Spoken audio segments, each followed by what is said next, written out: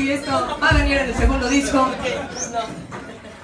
Esta rola va dedicada a todos aquellos que no nos han pelado en nuestra vida, aquellos culeros o culeras que nos rompieron de corazón. Friendzone. Friendzone forever. Se llama Guilty.